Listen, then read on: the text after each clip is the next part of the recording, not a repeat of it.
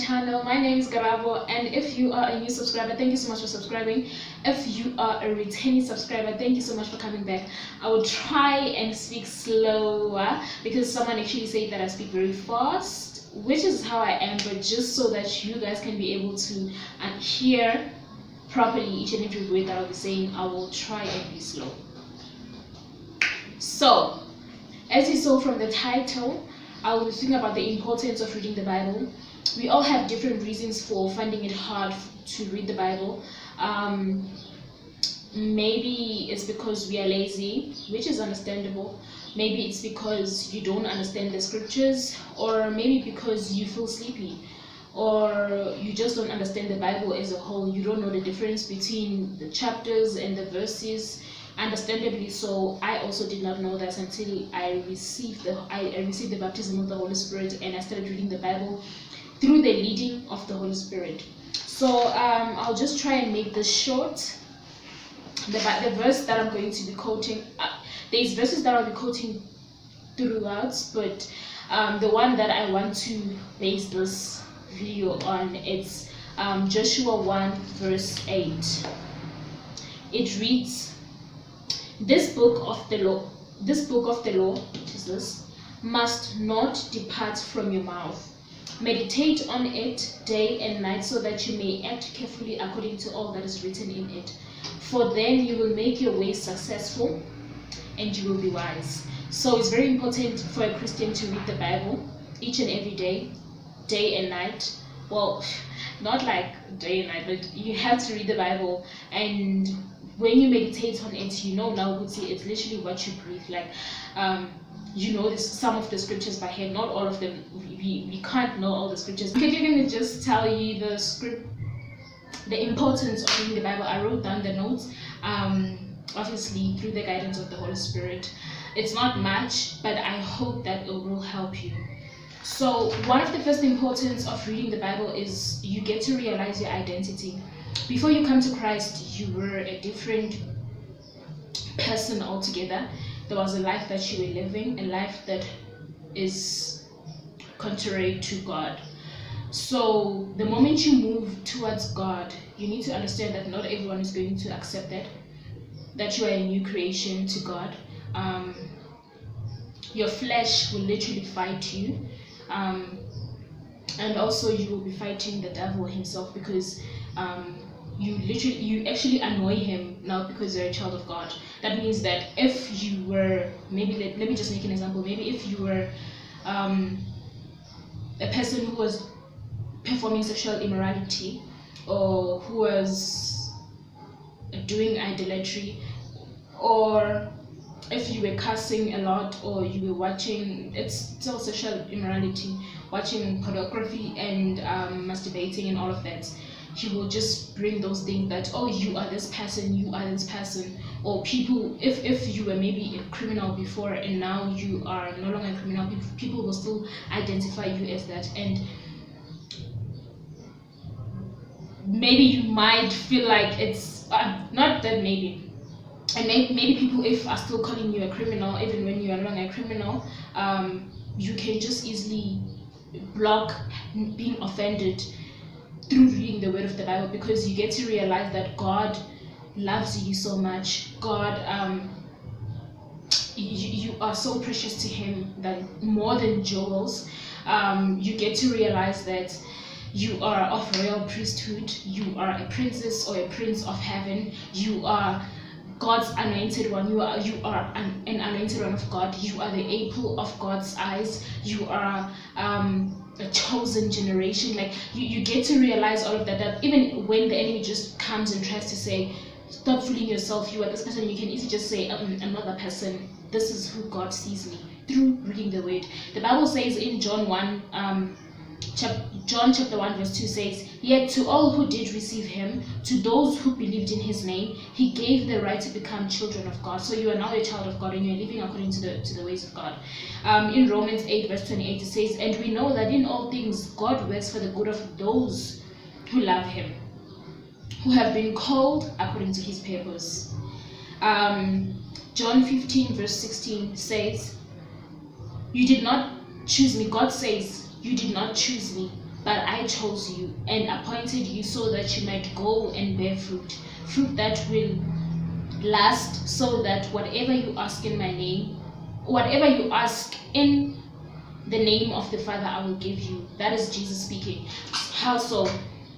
Sometimes you might be like, am I really worth living the life that I'm living now, the life that is full of goodness, the life that is full of peace and all of that? But just remember that God called you to Him. He loved you and he, he called you to Him. You didn't just wake up and say, I want to be a Christian. You didn't just wake up and say, I want to start realizing Jesus Christ is my Lord and Savior and my Master. It, God calls you, God chose you. Through the life that you were living, He said, That one is my anointed one, and I want them to come and live to me. Hope you understand. And then the other thing is growth. You grow spiritually, you grow mentally, you become so matured in a way that you no longer conform to the patterns of this world. You no longer entertain the quarrels that are happening in this world. You no longer entertain um, the discussions that have nothing to do with God. You know, um, you no longer just take them unto you, but you realize God you you grow to a certain point that even when someone comes and say, "Oh my God, I had an encounter with Jesus," or "I saw Jesus," you don't say, "Ah, namana," no, no, no, but you actually realize that the kingdom of God exists and it is true. You grow. I don't even know how to explain it. The Bible says that um, when you, you, those who love Jesus acquire knowledge, so you, you become so knowledge, even in and and that growth that you receive when you read the word of the lord through god obviously from god rather um, it reflects on each and every other thing that you are doing. Work school all of those things like there's just this maturity this discipline this you know through the word of the lord it grows you um, matthew 5 verse 6 says blessed are those who hunger and thirst for righteousness for they shall be sanctified through the word of the lord by god obviously. And then um you hear okay you hear from god how so you hear when god speaks. You you, you hear the, the like god speaks to us through the word. The second timothy 3 verse 16 to 17 says all scripture is breathed out by god and profitable for teaching for reproof for correction and for training into righteousness um, that the man of God may be competent and equipped for every good work. So it's God speaking to you through the word. All scripture, it's Him speaking to you so that He can teach you, correct you, and show you the right way. So you literally hear from God.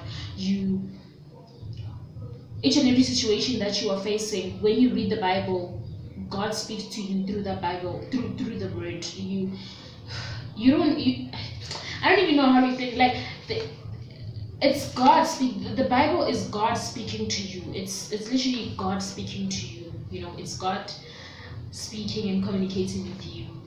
Yeah, and each and every scripture of the Bible, each and every verse, it has a certain revelation. It has a certain message from God, and then um, you also receive authority to you. You realize the authority that you have through Christ you realize that um, Jesus Christ has overcome the world and trampled over everything. So, which means that the power of the Holy Spirit is in you. The very same power that raised Jesus from the dead is in you. So, when you are sick, you won't have to take a taxi, an Uber, or drive to your pastor's house for them to lay hands on you and pray for you. But you actually realize that you can pray for yourself and receive healing because the Bible does say that you have that power in you.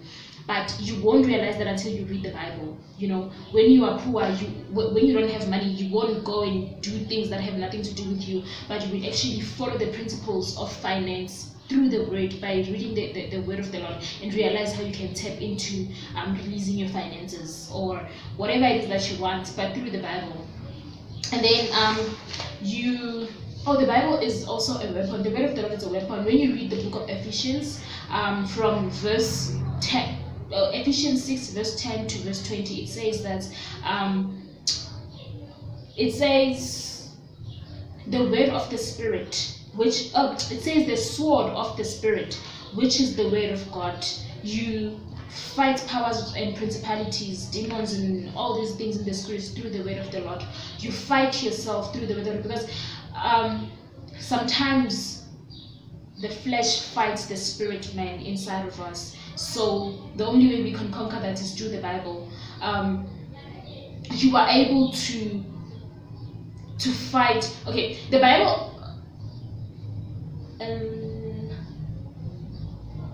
yeah. So also the Bible helps you to to be able to just disregard the the doctrines that are out there. Like right now, everyone is a prophet. Everyone is a man of God. Everyone hears from God. Everyone has a certain message, which is what the Bible actually said that in the last days there will be so much information, there will be so much knowledge. In a way, you will see people will say this, will say that, will say that. Some of them don't even come from God. They actually people from the kingdom of the darkness, but they're disguising themselves as the people of God just to remove us from the word of God. But when you read the Bible, you get to realize the truth.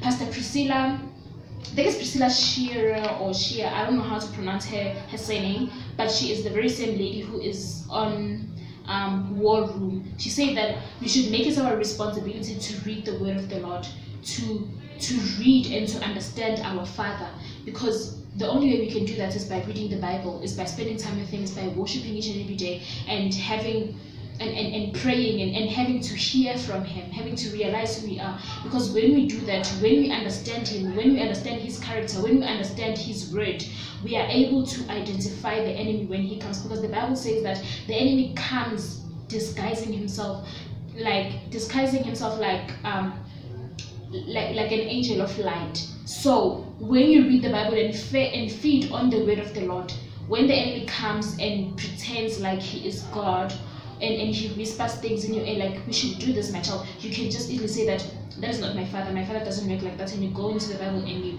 you, you, you read the Bible. The only way you can be able to survive in this world that we are living in now is through reading the Bible and understanding the character of God and who you are in God. It's very important that you read the Bible. Um, and let me just quickly read this. Um, before I read the Bible, and these have been very, very, very, very helpful to me. It's that, sorry. Before I read the Bible, I pray and I invite the Holy Spirit. In the book of Revelations, Jesus Christ says, I come and knock, and whoever opens for me, I will come in and share a meal with them. Which means that you actually ask God to come and join you for the meal, which is this.